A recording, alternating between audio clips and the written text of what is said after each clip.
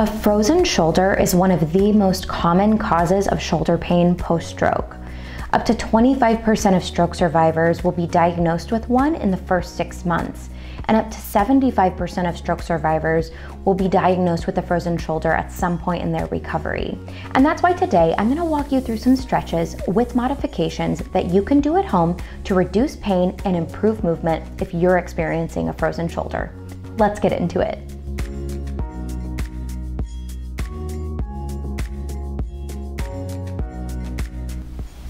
All right, everyone, so we are gonna go through two sets of six different stretches. And to start us off, we're gonna do neck stretches or a neck release. So we are going to take our neck. This is going to be my affected side as I'm showing you throughout this video. Your unaffected hand is gonna come over on the opposite side of your head and you're gonna very gently pull your head over so that your ear is coming down to your shoulder. This should be a really gentle stretch. Don't tug and pull your head.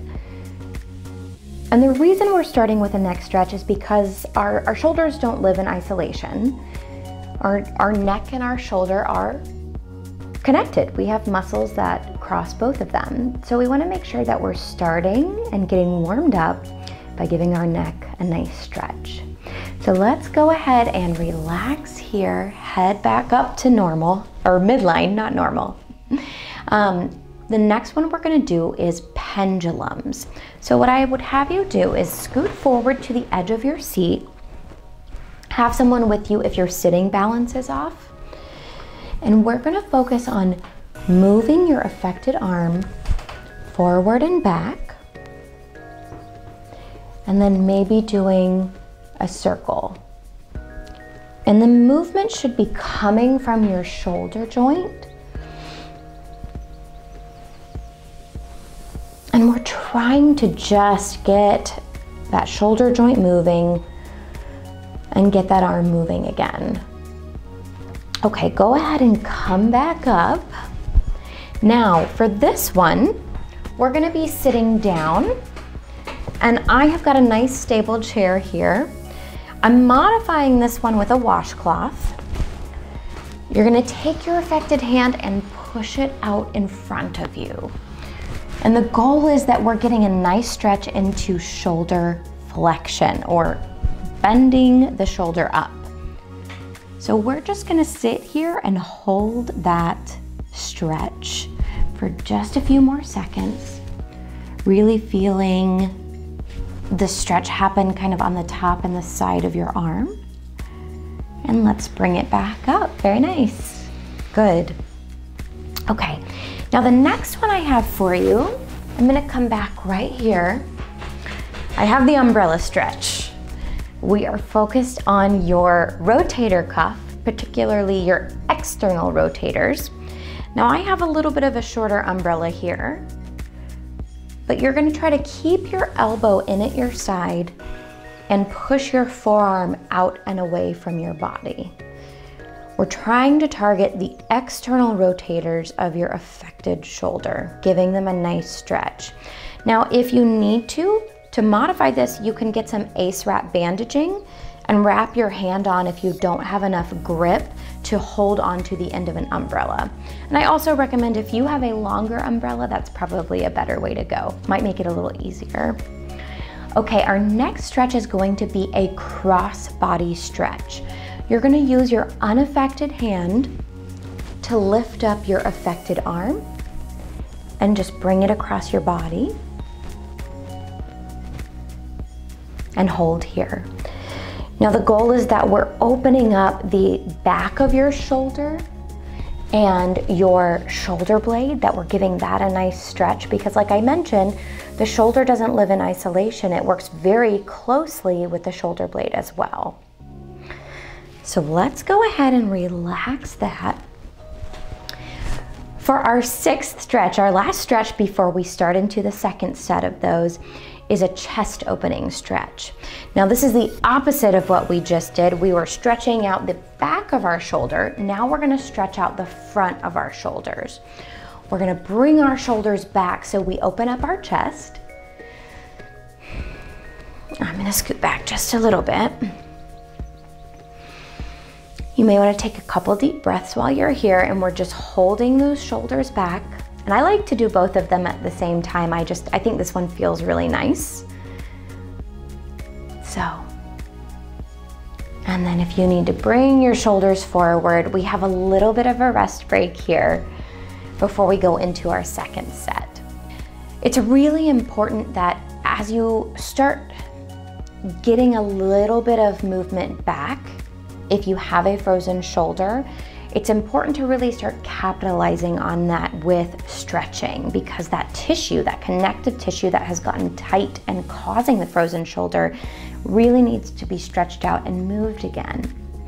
All right, but we are on to our second set of stretches. We're gonna start with those neck release stretches. So unaffected hand is coming over to the opposite side of your head. You're gently pulling so that you're getting a nice stretch along the side of your neck and down to the top of your shoulder. Now, if you need to hold and then relax for a minute here, and then go back into it, you can. I know I say this a lot in my videos, but everybody is starting somewhere. So if you can't hold it for the entire time, don't worry about it. If you can get five seconds, take a break, do five more seconds, that's great.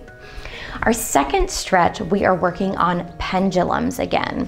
So come forward to the edge of your seat here,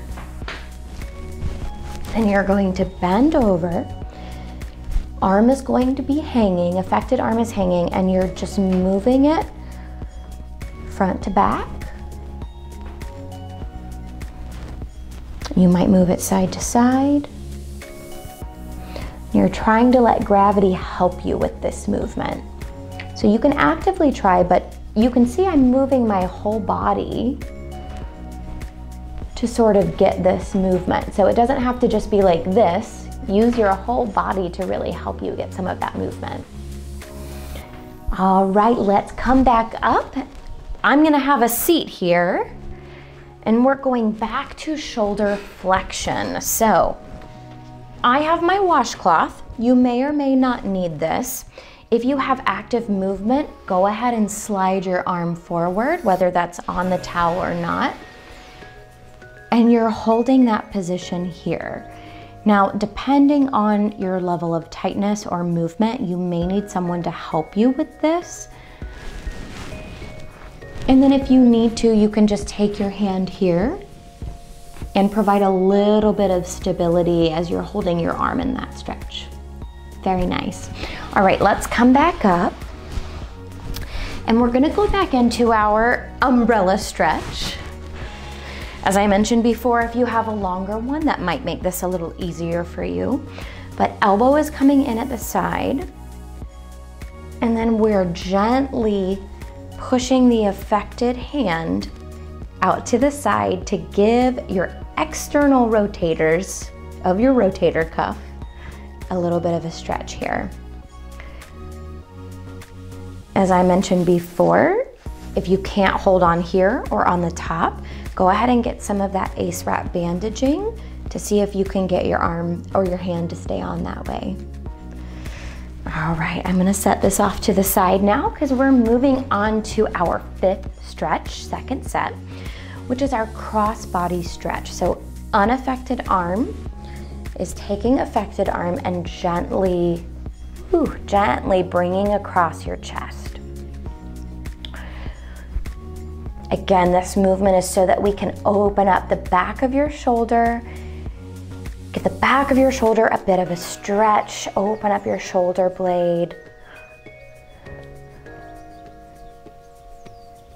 Because like I said, the shoulder blade doesn't exist in isolation. We have a lot of moving parts that work together to give us certain movements.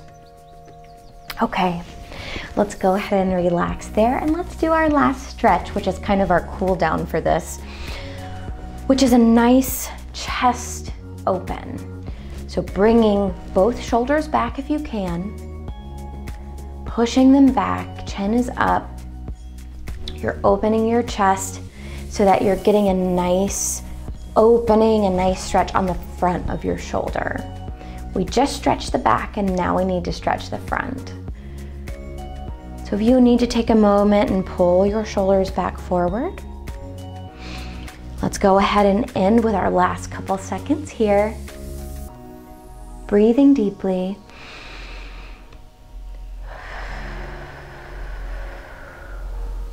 And relaxing and bring your shoulders forward. Great job.